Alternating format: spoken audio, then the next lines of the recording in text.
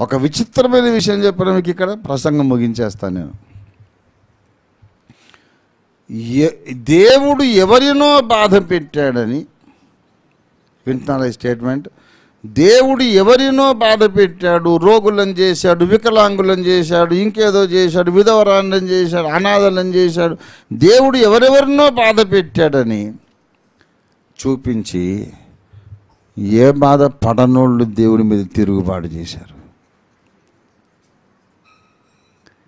విచిత్రం చూశారా?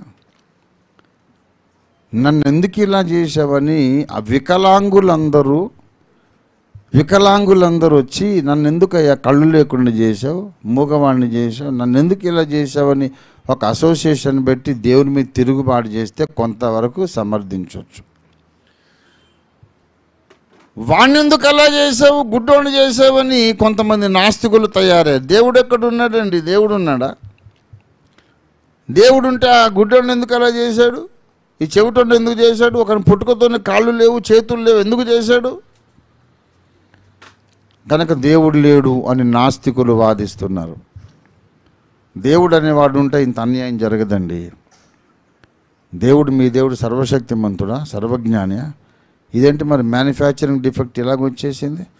కడుపులో నుండి ఒక చేయి లేకుండా పుడతాడు కాలు లేకుండా పుడతాడు. దేవుడు ఏం చేస్తున్నాడు? దేవుడు అనేవాడు లేడు ఉంటే వాడు మంచోడు కాదంతే. ఇది నాస్తికుని వాదన. కానీ వాడికేమో అన్ని కాళ్ళు చేతులు మొత్తం అన్ని కరెక్ట్గా ఉన్నాయి. వాడు కాళ్ళు చేతులు లేనోడు కనుక నేను దేవుడిని నమ్మనని అన్ని ఉన్నోడు అంటున్నాడు.